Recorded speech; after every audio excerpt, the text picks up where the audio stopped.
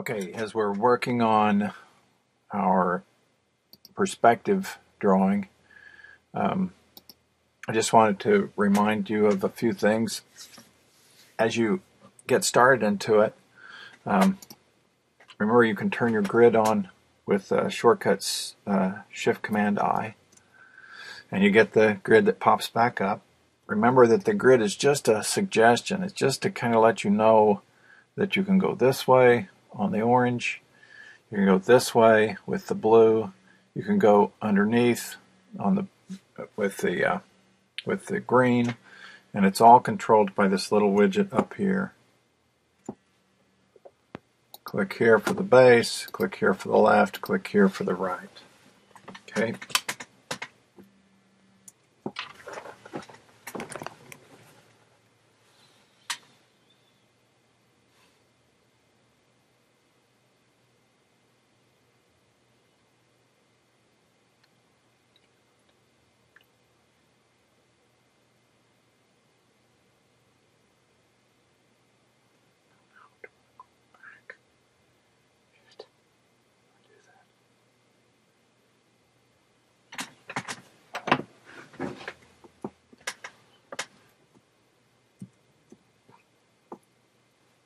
Okay. All right. Uh, and you can adjust that grid if you want to. You can uh, use the perspective grid tool like we've uh, talked about before. When you click on it and then click on your grid, you've got little handles and things that will help you adjust the height of the grid, but you can also raise the grid if you need that help, if you need that assistance.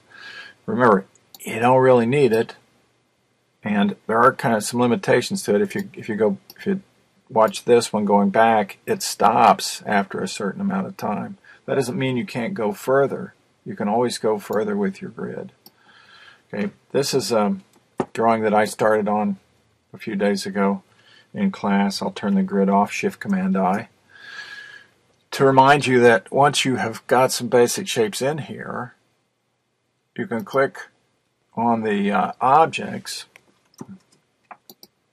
Not seeing it here. Oh yeah, perspective grid tool. You can click on the objects even after it's selected to um, rescale it. You can see these uh, objects that I can reselect here and reposition. And even that, that right there was just done with the blob tool, with the blob brush. And yet it's completely rescalable too, so long as I use the right tool, the perspective selection tool. And once you've got it, you can see here I'm not using the grid at all. I can select objects without the grid and move them and rescale them and do other things with them. This is a coffee cup from our first folder that I just borrowed and put in here. Now as far as selecting, you remember when you're working in Illustrator, if you go to your outline view, you can select, a lot of times you can select things easier than you can in the preview. For instance, trying to select this coffee cup, I would have to use all these shift selections here to get get this, unless it's grouped. If it's grouped, it's no problem. But if it's if it's something you've brought in and it's not grouped, and you want to select it, try using the outline. Try using the outline uh, view because then it makes selecting so much easier. Okay, back into preview, and you can see I can move this down. It stays in perspective. I can scale it and do other things to it. Okay, so keep in mind that outline view still works. Even as you're working here in perspective, it's just Command Y, and it makes selecting so much easier. Okay, all right, all right. Shift Command I to turn on the grid, Command Y to go in and out of outline view. I also wanted to mention this, and I'm a, a little bit ahead uh, on on my uh, on my drawing than on my movies. But what I've done here is, if I can zoom in, uh, drawing these shapes, drawing these shapes is a matter of going kind of off the artboard. And you can see where that happened with the wall here. And it went, it, it arced, it, it uh, went way up like this and way over to here. Well, to cut off those little parts that go past the artboard, I just used, uh, sorry about that, my mouse is jumpy. Um, you can use your selection tools and shift and select out of perspective. And for instance, with a rectangle here, I can select so that I select, so I draw a new rectangle on top of that and then use my divide objects below. Object path, divide objects below. And what that does is give you the option then of eliminating some of these items up here that you don't need.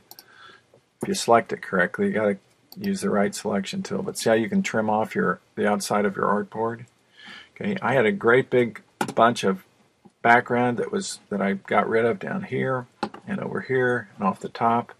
And you can do that too. Now, once you've done that, once you've trimmed it, the uh, perspective selection tool no longer works on it. If I try to select that now, it's it's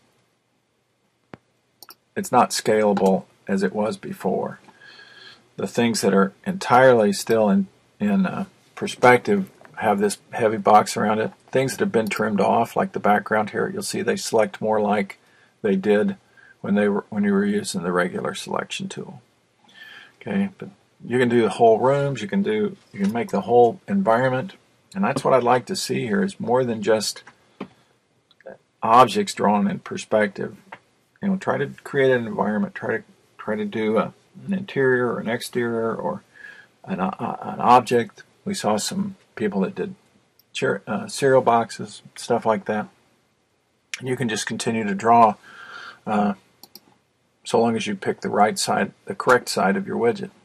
Okay, now I'm going to zoom in on this part, and you can see all these are little tiny rectangles done in the perspective environment. That's on the right side of the widget, and this is on the left, on the, I'm sorry, on the right side, and this is on the left. This is on the green, the bottom. Okay. And that once you've drawn stuff, again, once you've drawn stuff and you select it using the selection tool, it'll automatically update here in on your widget. Depending on the object that you've got selected, it'll select it correctly for you. Okay. There I'm on the right on the left, here I'm on the right. And it's absolutely okay to have some pieces of it that aren't even in perspective. If I click out, there's a little circle right here, a little ellipse that I added just because I needed this little gap to fill.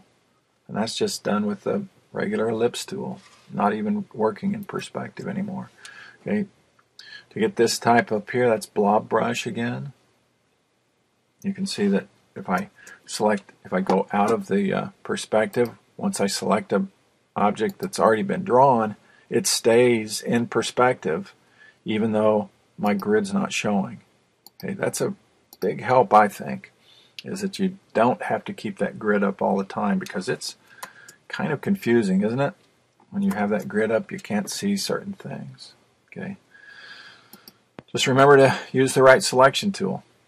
If you keep going up here and trying to use the regular selection tool, it pops you right out of perspective. You can no longer draw in perspective when you've got that selected. Okay, so use the right selection tool and you can just keep on selecting stuff. It's absolutely okay to draw part of it in regular Illustrator and part of it in perspective. Okay. Okay, I'm going to keep working on this. I'm uh, trying to kind of draw the front of the classroom here. Um, I've got my uh, coffee cup as my as the assignment on the smartboard and I'm just going to try to keep kind of building this interface.